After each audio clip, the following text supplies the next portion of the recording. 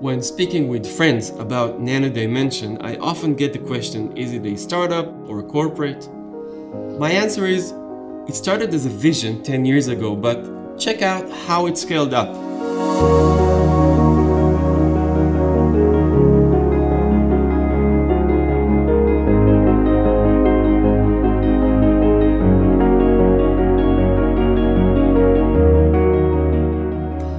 By now, Nano Dimension has multiple product divisions with thousands of machines installed globally, serving hundreds of customers.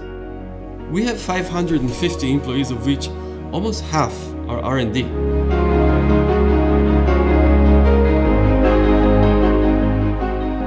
Nano is at the forefront of deep tech technology, developing and selling different types of machines, software and materials serving clients from global technological giants to space and military agencies. Many of our customers are leading innovators in their fields. In aerospace and defense, for example, we have NASA and global US defense contractors.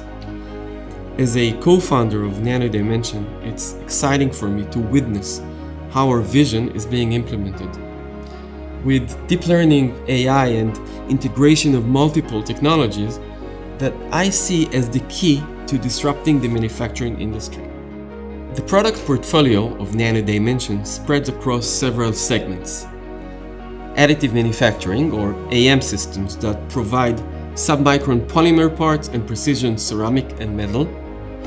Additive electronics and robotics, providing accurate assembly systems for electronics production and subsystems for digital printing solutions and additive manufacturing for electronics or AME systems. This is where it all started for me, and that's where I see huge potential to disrupt the market and scale up. I believe that the next generation of Dragonfly AME machines, in which our AME technology is integrated with our additive electronics technology and our AI technology, is the key to disrupt the electronics manufacturing industry. The addition of deep learning AI, micro AM, AM for ceramics and metal, robotics, and additive electronics over the last couple of years empowers us to take the next steps and become a leader through the disruption of electronics and AM production. I invite you to step with us into the future. Stay tuned.